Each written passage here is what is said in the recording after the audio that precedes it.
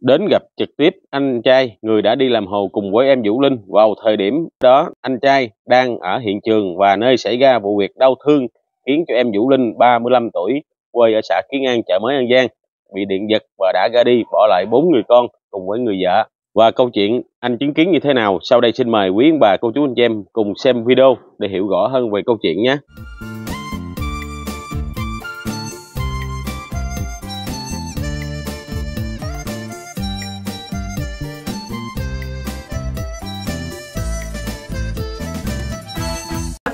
Dạ anh ơi, cho mấy em hỏi thăm chút xíu ha. Tại nghe cũng nghe nói là anh hồi trưa này đó anh làm chung với ờ, anh Vũ Linh ra đi vào lúc 11 giờ đó mà cái sự việc nó xảy ra như thế nào anh là chứng kiến thấy chưa ha. và dạ, anh có thể chia sẻ cho em cũng như bà con cô bác ờ, được biết thêm ha. Dạ. thì ờ, anh em cực khổ đi làm chung với nhau thì xảy ra sự việc ừ, cũng quá đau thương. Thì hồi sáng thì ờ, ông chủ nhà ông đứng trộn đâu hết năm sáu cối gì á. Thì ông mới giao qua cho em đứng đứng đổ đâu hơn phân nửa cái xăng rồi. Nó mới xúc đá mà giờ thôi mệt quá em ờ, đổi anh đi. Nó ừ đổi thì đổi đổi thì đổi rồi, nó trộn luôn hai ba bị mệt đâu hai ba lần gì đó. Thì sau tới coi coi cuối đó thì, thì sau đó mà nó xúc cái vali ra cái nó dằn xuống cái vớt xuống chúng trúng cái gì đó nó là điện điện giật là cái ông cặp bên đứng rút cái chui liền. Rồi, rồi thì sợ ấy sơ cứu nó mà không kịp. À tức là bị cái đó là ra đi tại chỗ luôn ha cấp mà đưa đi thì nó còn hước hước hai ba cái nữa trên đường đưa đi bệnh viện ha. dạ, đưa đi qua trạm xá rồi trạm xá nó thấy không được mới ờ, đưa xe xe cấp cứu đưa, xúc đi xuống dưới ờ, mà bệnh viện phú tân dưới này luôn Đó là làm mình làm ở xã hay gì anh? ở xã huyện ờ, huyện xã phú hưng À, xã Phú Hưng. Rồi mới chuyển xuống bệnh viện Phú Tân. dạ. mà vậy mà anh cũng xui với ha mấy cái mẻ đầu tự nhiên anh không có gớ vào cái máy rồi mẻ cuối cùng mà đầu dành vô cái máy làm ha Dạ. đó của em cũng không rành nữa tại vì xui khiến biết sao đâu lượng đâu nói mà lúc đó anh bị vậy rồi tự nhiên mà anh biết mà phản ứng anh la lên luôn à, nó cái là nó, nó cái là nó điện giật rồi này tao biết tao mới rút chui lẹ liền nghe nói anh Vũ Linh này mới đi làm bữa nay ngày đầu tiên đúng không ạ? Đi làm hồ ở trển làm là được hai bữa rồi. Mấy bữa trước ờ, có lên làm ờ, bữa đổ nguyên cái sàn ngoài dàn sàn đó đó rồi sau lại ta mới kêu ờ, đổ tiếp cái xăng. Là cái xăng của ổng ổng tính kêu mướn mình đi lên làm thôi chứ không dính giáp vô dưới thầu nữa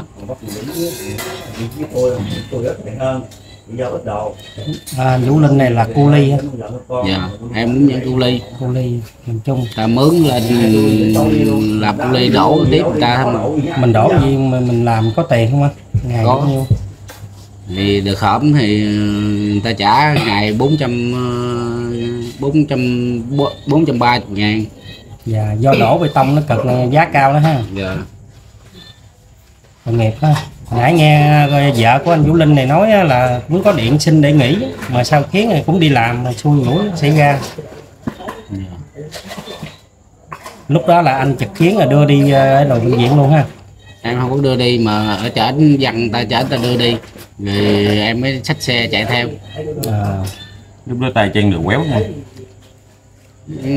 thấy ờ, chân thì mình không có dòm chính tay tại người ta sơ cứu mình đâu có ờ, nhào đó được. Thấy vậy em đứng dưới giò em bóp cho hai cái giò cho nó.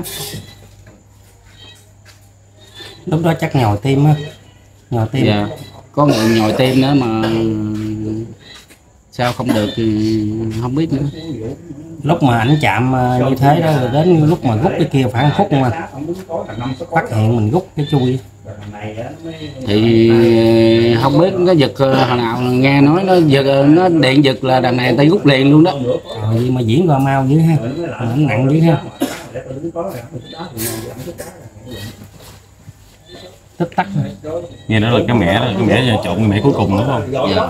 mẹ đó là cái cô mẹ đó là cuối cùng đang rửa cối và đang ờ, anh em bên xe về đó. Mà anh chia sẻ nữa là năm sáu bảy mẻ trước á, là anh không có lợi để làm cái máy đó phải không? Không như là không lợi để ờ, nghiêng cái máy để đổ hồ đó ha. Ờ, là đổ đó là hai mươi mấy bao mà này ta đổ hết mười mấy bao rồi mới lại nó nó mệt nó xúc đá mệt quá cái nó đổi. Đổi rồi nó mới ờ, lại đứng trộn đâu hết đâu cả năm cỡ mười mấy hai chục cối gì đó. Là ngay cái motor đó ha dạ. Bị mát motor. Mà lúc đó ảnh có mang dép không anh? Không. Không mang dép nó, luôn nó bỏ dép ra ngoài rồi bỏ dép thì nó tiếp xúc cái mặt đất thì dễ nặng hơn. Nó nhanh hơn. Nhanh nếu mà có dép thì nó đỡ. Rồi ngay trong cái chỗ cái cối là chắc ướt nước ướt dữ lắm ha. Có nước ờ, chút đỉnh à nước ờ, trên ờ, không có nước nhiều tại vì thường thường mấy cái cối trọng hồ á là nó ưa chặt cái motor. Đa số là bị đó nhiều người lúc trước cũng nghe cũng bị giờ cái vụ đang chăn cái motor đó là nhiều phải cẩn thận cái chỗ đó. Thì ờ, công an lại chịu mở cái motor ra đó hay là thấy nó hở cái đường điện tét cái vỏ điện ra chút xíu mà. Rồi là chặt đó xui. Mà trước đó thì không bị gì tới à, anh Vũ Linh vô bị xui ba cái số mà thiệt chứ cái đó mình xây cách gì anh? Dạ. cái đó xây cách gì? Đổ cái xăng cho người ta. Đổ ha. Ờ, cái xăng nền cho người ta cái này là xăng mình đánh nhà. có lượng đúng không? Này chủ nhà kêu mình mới kêu mình lên làm cái phụ tiếp người ta. Là cái cối đó là cối của công trình hay là cối của chủ nhà cối đó thì cối của ông, ông, ông công trình này ông bằng cái nhà sau á à, là ông đổ rồi. Ông mới để cái cối đó đặng tới nữa ông lên xây lên cái nhà bếp sau. Thì ông này ông mới lấy ông, ông lấy đổ. Ông kêu ờ, hai thằng lên phụ tiếp ổng.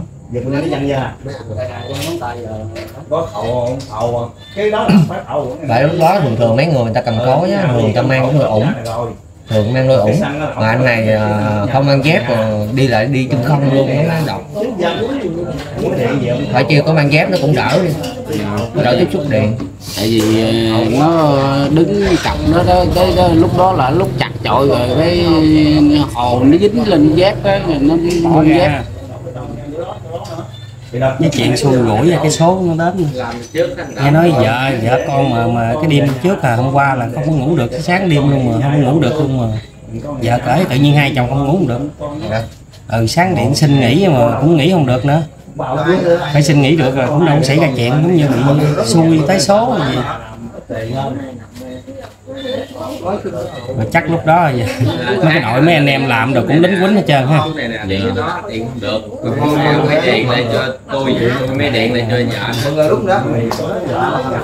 Anh là cũng đi làm chung với vậy? Anh tôi anh dạ nó.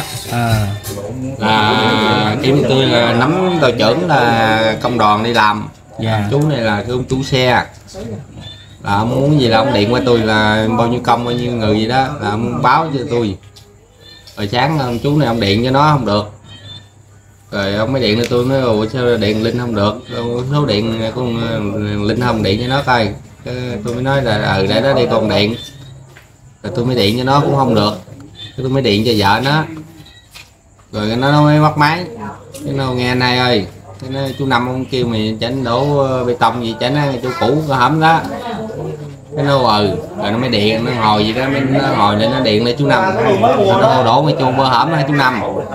Cái, chú năm nó hô ừ rồi là đi chung với thằng bình này nè là nó kêu ông, bình này nè đi lên trả trước đi nó đi đây nó đi sẵn đi là quà đằng chung qua luôn gần khỏi đi lên cầu cho biến nó mất bọc lên đây nó xẹt ra qua đò nó chung nó gần là đi là, là, là bị luôn đó. nó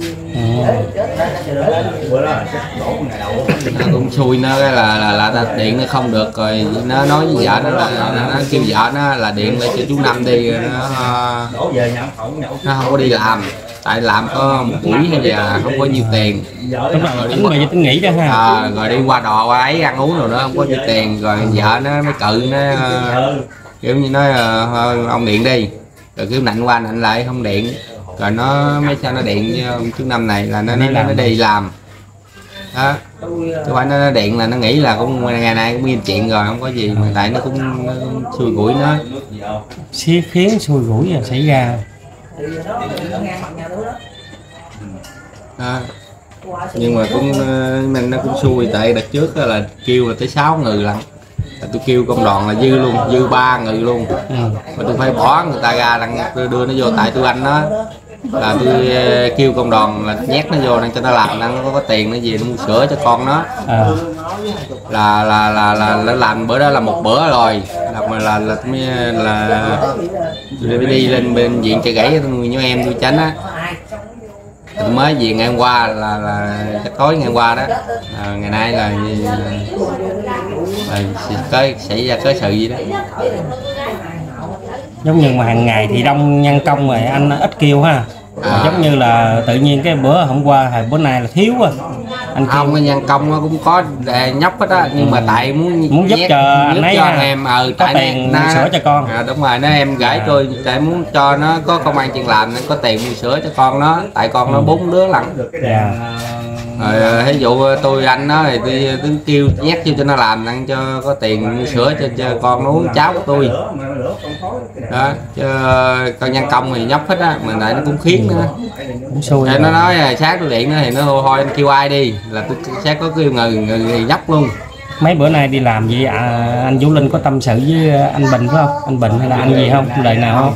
Không tại em đi bệnh viện chị gãy rồi có mấy ờ, đợt trước đó là ờ, mạng cái nó, con nó nè mới đẻ rồi chừng nó 10 bữa già cái nó nó đấm đại hán em đem vô nhà anh. Con em đem nhá đại hán vô nhà anh anh, anh mời ờ, công đoàn của anh. Cái mới nói là cho con mày mà mày không mời cái nó, ờ, ông cậu nó thì ông mời đi rồi với ờ, cháu ông mà với mời với công đoàn ông đội trưởng mời đi đi. Ừ. được đông. Đó. Nhắn gửi trước ha để Rồi. mời đầy tháng con trước ha. Ờ. Dạ. Rồi con, em cũng có hứa nó ờ nó ờ để tới đó đi rồi tôi mời anh em công đoàn. Tại anh em công đoàn tôi tới hai ba chục người lắm. Đó thôi mà chuyện cũng ờ, xui rủi rồi. Đúng rồi. Cầu nguyện cho em ấy là sớm được siêu thoát thôi. Mình lo là lo trước mắt là thấy năm mẹ con thì thêm người mẹ nữa. Cuộc sống quá trời khó khăn rồi. Đúng rồi đã có nó mà còn ờ, không dắt giả nó khi mua sữa rồi tôi cũng phải đi ra tôi mua phụ cho nó. Giống như là ảnh là người trụ cột gia đình đó À. không anh? Tức là ảnh là làm có tiền là nuôi tới 6 miệng ăn ở trong nhà. Đúng rồi. Người mẹ nè người vợ nè rồi bốn người con là sáu người. À, lúc trước vợ nó chưa đẻ đứa này thì vợ nó cũng mua bán lắp đổi cũng uh, phụ nó mà đẻ rồi mấy tháng nay không có đi được. Dạ đúng rồi sao mới sinh con mà đâu có đi làm mấy kiếm tiền con được? đi đâu không có đi kiếm tiền được. Rồi cũng muốn tính là để cho em mình đi, đi làm. Mà nó chỉ ra cái sự gì? Nhưng mà sao nó cũng khiến cái cái cái lúc mà đi đợt trước á là đi sáu người là tôi không muốn kêu nó đi rồi. Tại thấy em mình đổ bê tông nó cực khổ á là muốn không kêu nó đi. Nhưng mà chú năm nó thôi kêu nó đi đi cho nó có tiền mua sữa cho con nó Ừ. thành làm tôi mới nhét nó vô là hồi lại mấy người kia cho mấy người kia ta lên xe là tôi tính đi lên làm đó rồi như tôi mới kêu thôi đủ người rồi nói chung cái chuyện đó thì mình cũng đâu có có chấp bản thân mình được tại đó đó. chuyện xui rủi xảy ra mình cái cũng muốn tốt cho có có tiền mua sữa cho con thôi cho muốn tốt cho em mình thôi nhưng mà với thứ hai nữa nãy nghe anh Bình kể ờ, sáu bảy mẻ trước ha, chọn trước là người khác đứng không à đúng mà rồi. tới mẻ cuối tự nhiên cái ảnh giành ảnh đứng à đứng là xảy ra chuyện luôn đó. Nó khiến làm sao á bởi vì mà nó còn có nửa mẻ nghe bình nhấn vào nó xuống hết nữa còn nửa mẻ còn nó đổ hết nửa mẻ còn nửa mẻ nó vô dành nó đổ là dính luôn. Nửa nửa mẻ của cái trong cái cối xì hộp À, trời ơi chỉ có xíu à. Đây là cái có, có một bao cái gì gói nó nửa bao à. Coi nửa bao à. Còn có chút xíu à. Có có nửa bao vậy là như ví dụ như là ba bốn bốn bốn đá ba cát nở bao xi đó em hiểu rồi. Còn có mẹ nửa mẹ đó là có mấy thùng bơi nữa gì nhưng mà khi nó giác mập quá hay gì đó, rồi nó mới kêu vô đứng là lặn, nó đổ nó khỏe lại chút ai về ai về là cái mặt điện. cái là cái định mệnh nó luôn. Nếu mà là kiểu như là giác hoặc là ấy nó mệt khi anh đứng đổ cái đổ cái đó, đó là nhẹ mà không ngờ là nó chỉ còn có nửa mẻ cối như dù một mẻ đó mà ta đổ hết phần nửa rồi. Dạ. coi mà nó im nó xui cái nó im cái là nó làm chút xíu nữa là rồi nó cũng qua xe việc rồi. Dạ. Còn cái đó cái số nó đã tới rồi. Cái số cũng đúng không cái biết đó là được. cái số là không biết được luôn. Giống như lời kể của anh Bình với của anh nãy giờ đó là giống như là mà có những cái mà mình không muốn ảnh đi làm mà lại Ờ, muốn đúng rồi. rồi nhưng sau nó cái, xảy ra đó. cái tâm trạng của mình không muốn cho em mình đi làm cái Đúng chuyện đó rồi. mình biết nó nặng. Đúng rồi cái đó là như dạng là Ừ. cái công việc đó mà muốn cho em mình nó có công việc nhẹ nhưng mà bữa đó thì nói chung thì à, muốn à, Ừ. tìm cái nguồn thu nhập để mua sữa cho con đó. cho, cho con nó cho cháu mình. Ừ. nhưng mà tại bà xã chậm rồi không không mấy chậm này tiền chị không? Sao chốt cái lon làm gì á chậm đi. Em ơi em ơi. Em em qua đây nè em em. Em lon lon lon lon lon qua đây để em trai gửi thêm ờ, tiền ờ, ủng hộ nè. Qua bên đây nó ra nó kiếm cái ông này làm chung nó hỏi lý do à. nó buồn. Ừ sẵn hỏi luôn đây. Nãy giờ anh cũng chia sẻ nè. Nè, nè, chị à, vô cho cho cho, cho chị Loan cho đó. Nó là người chung đó. đó là như chị là muốn đi ra đây là hỏi người làm chung để Ờ, nguyên nhân tức là hỏi anh Bình đó để biết nguyên nhân là sao đó. Thì cái gì anh Bình gửi nè mà em em gửi tiền cho mấy trước Đây, nãy à, em gửi rồi. chị à, cho cho đây là anh xin à, thay mặt mạnh thường quân ở bên à, Đài Loan à, tên là Trần Ngọc Nga gửi cho chị một triệu để à, chị à, lo nhang đèn dạ. Thay mặt gia đình xin cảm ơn chị Ngọc Long. Hỗ trợ tiếp cho em. Không biết nữa đó có giờ đây có anh Bình làm chung là cái gì em muốn hỏi gì hỏi luôn đi. Anh Bình nói cho thì có gì đâu chị chị hỏi anh Bình không? Được. tội nghiệp không? Sao cũng giao rồi mà sao không cúng được ta trẻ người ta cũng sơ cứu quá này ừ, không được thì biết sao rồi ta nắm gù ta cũng ờ, bóc đi ờ, qua tới trạm xá trạm xá mới đưa xuống tới bệnh viện luôn. Tại vì nó, nó giật quá nặng rồi. Mà sao đâu mà tốc hành nhanh thiệt chứ. Nó nghe nói nó bị giật rồi là tao rút điện ra liền đó mà. Thường thường á, nếu mà đổ bê tông á là dân quân của mình nó gom lại hết chứ không có phải là tứ tán ra. Bởi vì là khi mà nó cái cái vụ mà dây điện đó, đó là Thì mình phát hiện liền bốn trăm người bốn trăm người đứng cặp cặp cặp dưới đó không chứ, chứ có đi đâu đâu. Thì có ông xúc cát thì ông đẩy xe gồ ông hơi xa ông đẩy xe gồ lại. Còn lần này bốn người lần này thì đứng sát bên đó không. Thì đổ cối đó nữa là rồi đó là là, là, nó, nó nó điện giật là nó là cái nó xúc cái bu ly ra là nó điện giật đó là ta nắm cái chui ta rút ra liền đó vậy đó là mình trộn bê tông xong rồi mình đổ xe gồ mình đẩy đi. Không có đổ xá xuống đó luôn. Tại vì cái cái dây điện của motor là cái dây điện nó dẫn điện mạnh cái buộc dày không phải như cái dây điện mỏng nhỏ của mình. Nó đỡ đó nó nặng nó dẫn mau. Lại nói à, con dây điện nó đã xích trước rồi mà nó không có hay. Không có hay bởi vì mới chập vô mới dính mới giật luôn đó nếu mà như cái nếu như mà có cù dao tự động là nó nó sức ra vậy là tự động nó tắt rồi